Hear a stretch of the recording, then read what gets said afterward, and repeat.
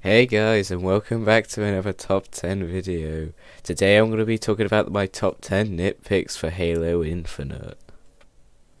Number 10. Forgeable AI. I don't know why this one is on my list, but it seems kind of important. Wouldn't it be awesome to have an endless horde mode? Some of Halo's most important game modes have come from Forge, such as Oddball.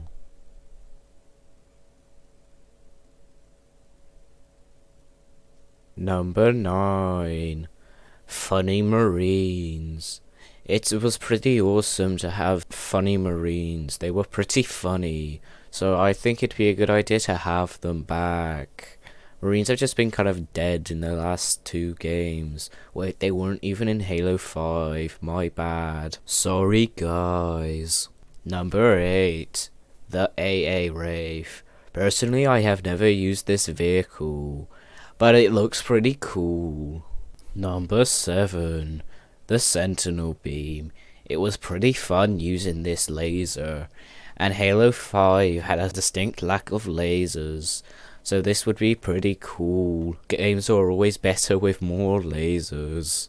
Number 6. SPV 3 guns. SPV3 is a pretty cool mod for Halo Custom Edition. I really recommend you play it. And it has some pretty awesome guns too. And not to mention the grenades. My personal favourite would be the Brute Needler. That is pretty cool. And they also have a pretty nice design for the sword, but I don't think it's called that. I think it's just a generic LMG. Number 5.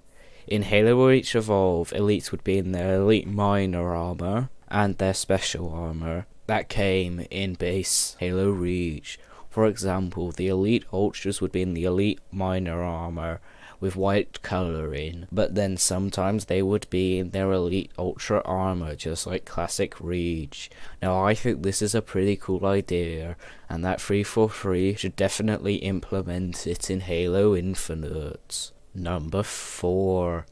I think it would be pretty cool to have the Banished in Halo Infinite, and if 343 brought them into Halo Infinite, you could have the Halo Wars 2 leader, Colony, in the game, which I think would be pretty cool.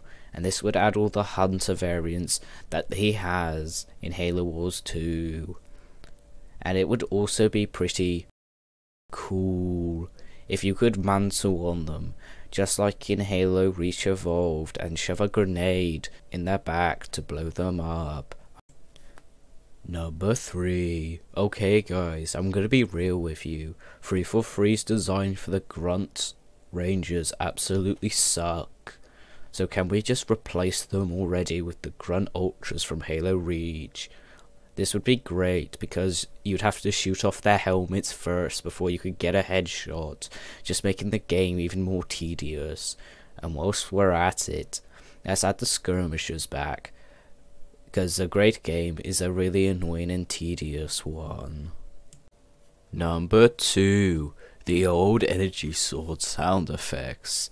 The old energy sword sound effects were pretty cool. They didn't sound like anything else. The new energy swords sound effects sound a bit like a lightsaber, and that's pretty lame. Because as we all know, lightsabers are really lame. If you like Star Wars, you're a nerd. Number 1. This is a make or break feature for Halo Infinite. If 343 don't add this, I can guarantee literally no one will buy the game. The thing Halo Infinite needs the most is ASMR Gravemind played by Luke. Or Hidden Xperia to those who aren't big YouTubers like myself. So guys, that was my top 10 Halo Infinite nitpicks. If you liked the video, please subscribe. And if you disliked the video, please like it.